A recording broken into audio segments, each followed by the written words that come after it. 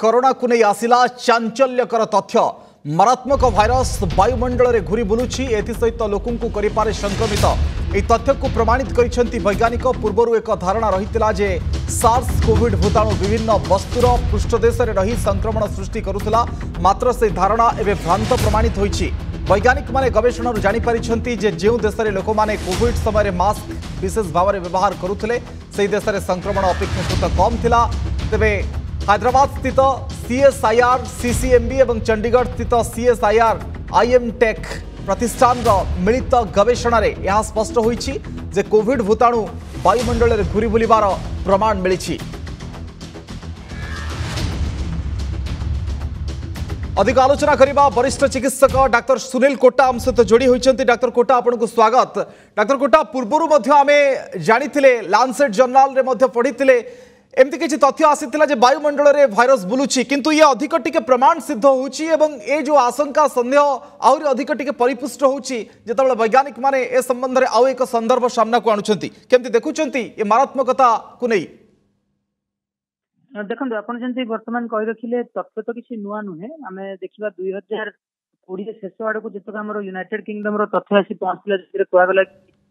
वायुमंडल भूताणु निश्चय ଭୂତାଣୁ ବୁଲୁଛି ଏବଂ ବିଶେଷ କରି କୁହାଯାଉଛି ମାନେ ଯୋଉ ଆପଣ ଦେଖିବେ ସମୟ କେତେ ଅବଧି ଧରି ତା ସକ୍ରିୟ ରହିଥାଏ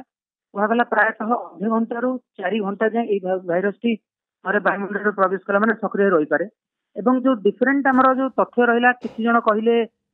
ମାନେ କେତେ ମିଟର ଯାଏଁ ଟ୍ରାଭେଲ କରୁଛି କେତେ ଜଣ କହିଲେ ଯେ ପ୍ରୋବାବ୍ଲି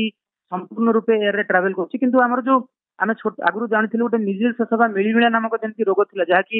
ସମ୍ପୂର୍ଣ୍ଣ ରୂପେ ବାୟୁମଣ୍ଡଳରେ ବ୍ୟାପିଥାଏ ଏଇଟା ସେଭଳିଆ ନୁହେଁ କିଛି ପ୍ରାନ୍ତରେ ତାହା ସକ୍ରିୟ ହୋଇ ରୁହେ ସେହି ସମୟରେ ଯଦି ସେଇଠି ସେହି ପ୍ରାନ୍ତ ଦେଇ ଜଣେ ଲୋକ ଗତିଗଲେ ଏବଂ ସେ ଯଦି ସଠିକ ସୁରକ୍ଷା ବିଧି ଅବଲମ୍ବନ କରିନାହାନ୍ତି ତାହେଲେ ସେହି ବ୍ୟକ୍ତି ବିଶେଷ ମଧ୍ୟ ମାନେ ସଂକ୍ରମିତ ହେବା ସମ୍ଭାବନାଟି ରହୁଛି ତେଣୁ ବିଶେଷ କରି ସେଇଥିପାଇଁ ସେତେବେଳେ କୁହାଗଲା କି ଆପଣଙ୍କର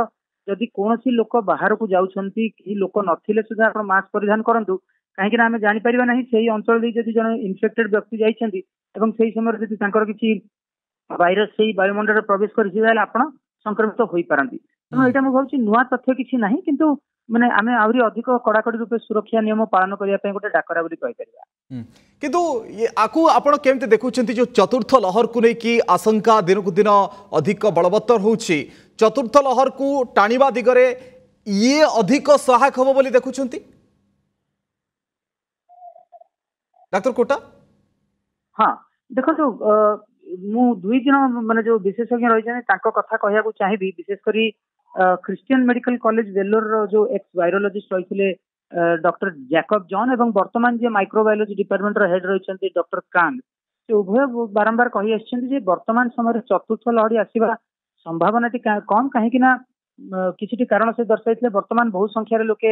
ହାଇବ୍ରିଡ ଇମ୍ୟୁନିଟି ପାଇଛନ୍ତି ମାନେ ନ୍ୟାଚୁରାଲ ଇନଫେକ୍ସନ ପରେ ଭ୍ୟାକ୍ସିନ ଗ୍ରହଣ କରିଛନ୍ତି ତା ପରବର୍ତ୍ତୀ ସମୟରେ ବର୍ତ୍ତମାନ ଯେତକ ବି ଉପପ୍ରଜାତି କଥା ଆଲୋଚନାକୁ ଆସୁଛି ଆମେ ଦେଖୁଛେ ସବୁ ସେଥିରେ ଡେଲ୍ଟା ଓମିକ୍ରନ ଏବଂ ତାହାର ମିଶ୍ରଣ ଅଥବା ତାହାର ଉପପ୍ରଜାତି କିଛି ତେଣୁ ନିଶ୍ଚୟ ରୂପେ ଆମ ଦେହରେ ଆଣ୍ଟିବଡି ମଧ୍ୟ ଯଥେଷ୍ଟ ମାତ୍ରାରେ ରହିଛି ତୃତୀୟତଃ ହେଉଛି ଏଇ ଯୋଉ ଆପଣ ଦେଖନ୍ତୁ ଏହା ପୂର୍ବ ସମୟରେ ଯେତେବେଳେ ୟୁନାଇଟେଡ୍ କିଙ୍ଗଡମ୍ ଚାଇନା ଆମେରିକା ଆଦି ଜାଗାରେ ଯେତେବେଳେ କେସ୍ ସଂଖ୍ୟା ବୃଦ୍ଧି ହେଉଥିଲା ସେତେବେଳେ ଆମେ ଦେଖିଲେ ପ୍ରାଥମିକ ଅବସ୍ଥାରେ ହଠାତ୍ କିନା କେସ୍ ସଂଖ୍ୟା ବଢିଲା ବଢିଲା କିନ୍ତୁ ତା ପରବର୍ତ୍ତୀ ସମୟରେ ତାର ଭୟାବହତା କହିବା କିମ୍ବା ତାହା ମାନେ ଦ୍ରୁତ ଗତିରେ ବ୍ୟାପିଯିବା ସେମିତି କିଛି ଖବର ସାମ୍ନାକୁ ଆସିଲା ନାହିଁ ତେଣୁ ଏଇ କିଛିଟି କାରଣ ଯୋଗୁଁ ଆମେ ନିଶ୍ଚୟ ରୂପେ আশা କରିବା ଯେ ଏତେ ଏ ବର୍ଷ ଯୋଉ ଚତୁର୍ଥ ଲହରୀ ଯଦିଓ ଆସେ ଏତେ ବଡ ଧରଣର ନ ହଉ ଏବଂ ଗତକାଲି ଠିକ ଅଛି ଇଏ ଅଧିକ ହାଇବ୍ରିଡ୍ ରୂପ ନେଇକି ଆସୁଛି ହୁଏତ ତାର ଦୁର୍ବଳ ହେଇପାରେ ସ୍ଥିତି କିନ୍ତୁ ଇଏ ଚିତ୍ର ଯେତେବେଳେ ସାମ୍ନାକୁ ଆସୁଛି ଅଧିକ ଆଶଙ୍କା ପରିପୁଷ୍ଟ ହେଉଛି ଯେ ବାୟୁରେ ବୁଲୁଛି ଭୂତାଣୁ ତେଣୁ ସତର୍କ ରୁହନ୍ତୁ ସଜାଗ ରୁହନ୍ତୁ ମାସ୍କ ପରିଧାନ କରନ୍ତୁ ଡାକ୍ତର କୋଟା ଆପଣଙ୍କୁ ବହୁତ ବହୁତ ଧନ୍ୟବାଦ ଡାକ୍ତର ସୁନୀଲ କୋଟା ଏ ସମ୍ପର୍କରେ ଅଧିକ ଆଲୋଚନା କରୁଥିଲେ ଆମ ସହିତ